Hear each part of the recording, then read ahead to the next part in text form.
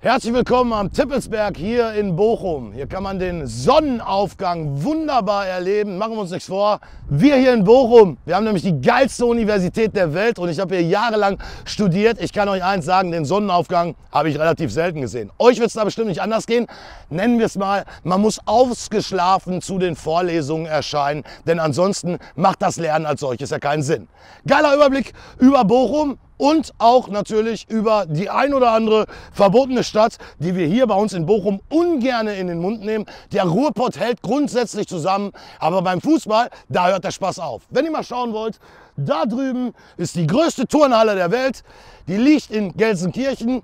Der Verein heißt Schalke 04, genauso wie die Ergebnisse dieser Saison. Und auch da heißt das Motto, nur gucken, nicht anfassen. Ich zeige euch jetzt ein bisschen was aus Bochum, über Bochum.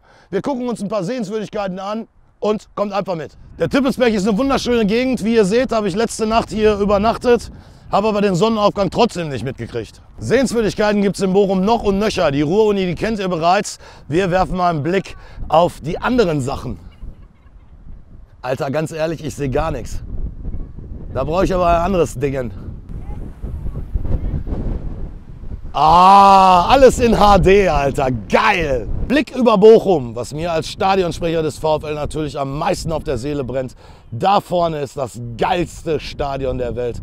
Das Vonovia Ruhrstadion und direkt daneben ist der Starlight Express. Seit 897 Jahren gefühlt läuft er in Bochum, das wohl erfolgreichste Musical der Welt von Andrew Lloyd Webber. Da gibt es auch den Bismarckturm, den seht ihr da vorne und direkt hinter dem Bismarckturm ist das höchste Gebäude der Stadt, das Exzenterhaus. Wir sind auf Kohle geboren und darum das Bergbaumuseum, das seht ihr da vorne, der Förderturm. Eines unserer absoluten Sehenswürdigkeiten und Pflichtprogramm, schwenke ich mal einmal kurz rüber. Und da hinten, da, ganz am Ende des Horizonts, da liegt die Weltstadt LA. Bochum-Langendreher, my hometown. Herzlich willkommen in Bochum-Langendreher. Hier geht's gleich los mit dem Paddeltennis. Was ist? Bring rüber das Ding. Wo ist er? Michael, so funktioniert das erstmal überhaupt nicht. Ne? Das heißt Padel, so in Spanien, aber wir in Deutschland sagen Paddeltennis. Aber ich erkläre dir jetzt erstmal die Regeln. Macht das auf jeden Fall.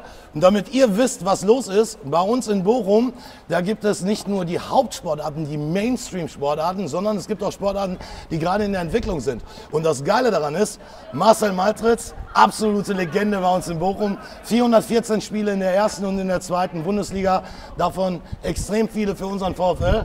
Er hat sich das Thema, wie ich gerade gelernt habe, der feine Herr, Padelltennis auf die Fahne geschrieben. Wir lassen uns jetzt mal ein paar Bälle um die Ohren hauen. Das heißt, wahrscheinlich haut der Malte mir mehr um die Ohren als ich ihm. Aber auch in meinem Alter, man lernt nie aus, man gibt nie auf. Und wenn das Ding nicht funktioniert, dann schmeißt er einfach durch die Glasscheibe. Denn die spielen beim Padelltennis eine große Rolle.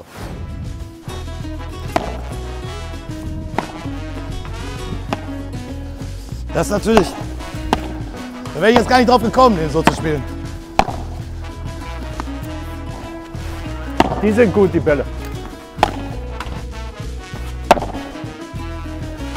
Kein Dampf, Junge, Alter. brauchst du mal einen Riegel? So eine Scheiße! Was macht er da? Boah, leg mir am Arsch. Jetzt bin ich ganz schön im Sack.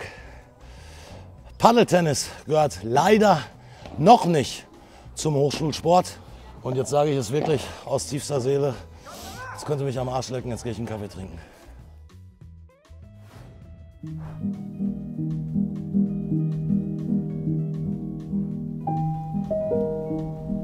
Hier bei uns im Pott ist alles grün, wie ihr sehen könnt. Nichts Verrauchtes, nichts Dreckiges, sondern es gibt ganz großartige Naherholungsgebiete. Der Chemnader See, der Stadtpark, der Imminger See, der Feuilleton, der fliegt uns direkt um die Ohren. Den ziehe ich mir gleich noch rein. Aber hier im Schlosspark Weidmar, da gibt es die Situation Kunst, eine Außenstelle der RUP.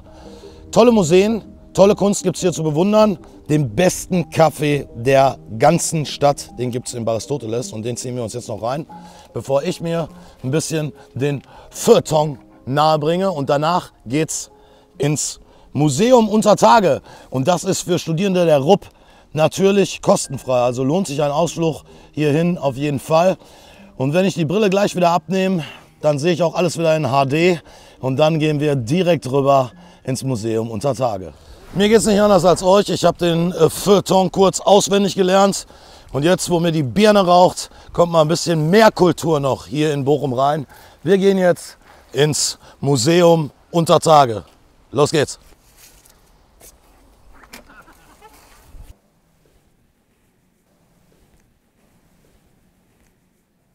Großartig.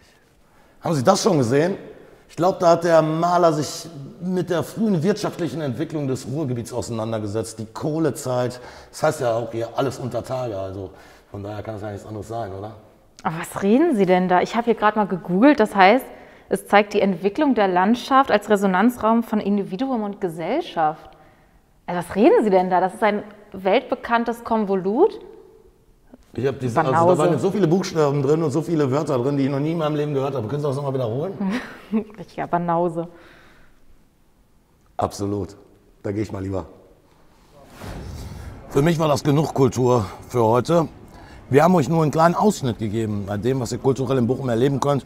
Über das Schauspielhaus haben wir beispielsweise noch gar nicht gesprochen, aber da könnt ihr euch natürlich jederzeit informieren. Bochum hat großartige Museen, tolle Spielhäuser im weitesten Sinne, sowohl in groß als auch in klein.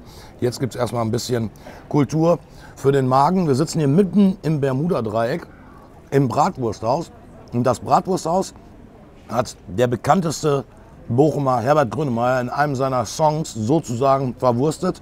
Die Nummer heißt Currywurst und es geht genau um die Bude, wo wir hier gerade sitzen. Das Bermuda-Dreieck, eine mega geile Partymeile, ein Restaurant, eine Kneipe neben der anderen. Und naja, ich hoffe, ihr kriegt das im Laufe eurer Zeit in Bochum besser hin. Schön, dass ihr da seid. An der Rupp.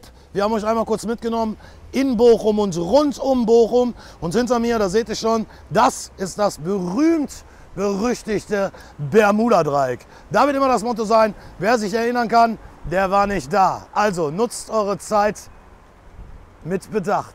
Ihr wisst ganz genau, was ich meine, oder wisst ihr es nicht? Ihr werdet es rausfinden. Hier im Bermuda-Dreieck, da findet ihr noch ganz, ganz viele Legenden. Und eine Legende, die steht gerade da hinten auf der anderen Straßenseite und wartet auf mich.